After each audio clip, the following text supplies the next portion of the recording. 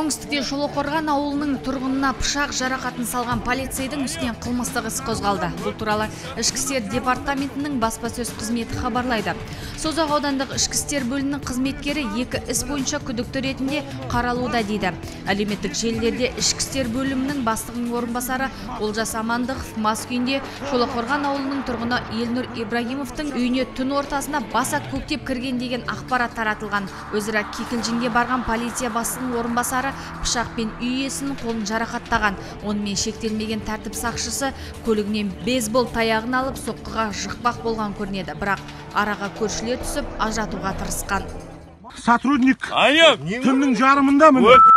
Түннің жарымында міне. Мен үйіме кіріп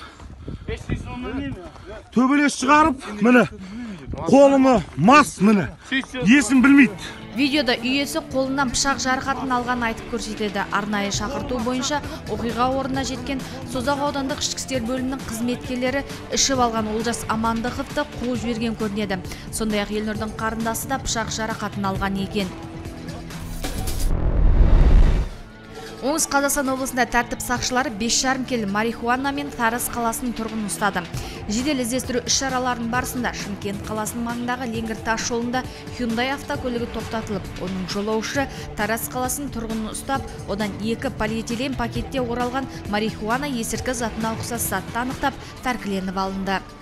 Қазіргі таңда бұл азамат к есімді азаматқа қазақстан республикасы қылмыстық кодексінің екі жүз тоқсан алтыншы бабы екінші бөлігімен қылмыстық іс қозғалып тергеу амалдары жүргізілуде. Құзырлы орган өкілдері күдікті әйелдің шымкент қаласындағы жалдамалы пәтерін тінту барысында жеті орама марихуана есірткі затын тауып тәркілеп алды.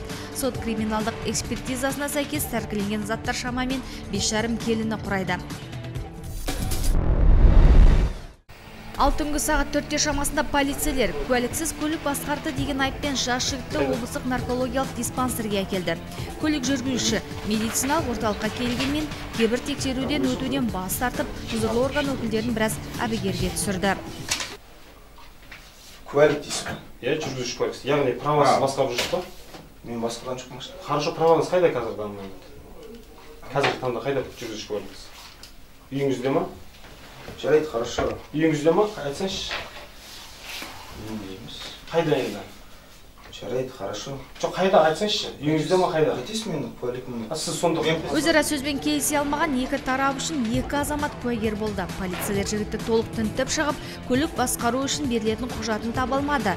Сондықтан куәліксіз көлік айдағаны үшін әкімшілік хаттама толтырды.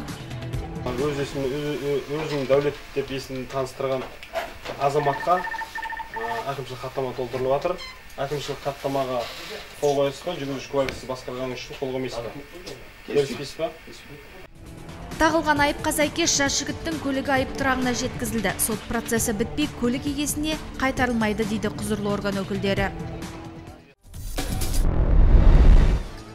Ал абай аудандық ювенальды полиция қызметкерлері кезекті рейд барысында ата анасын қарауынсыз жүрген жеткіншектерді анықтады. Төрт жеткіншектің жеке тұлғасын анықтау үшін тәртіп сақшылары оларды полиция бөліміне жеткізді. Мұнда олардың ата аналары шақыртып ескерту берілді. Облыс облыс аумағында алдын алу іс шарасы жүргізу барысында шымкент қаласы абай полиция бөлімінің ювеналдық полиция тобының қызметкерлерімен яғни бүгін нөл екісі он бірі екі мың он жетінші жылы шымкент қаласы республика даңғылының бойында сағат жиырма үш кейін жиырма үш нөл нөлден кейін төрт анықталып абай полиция бөліміне жеткізіліп ата аналарын шақырып ескерту салынып хаттама түзілді. Тыңдаңыздар орталық тұсқа тосқауыл қойылсын.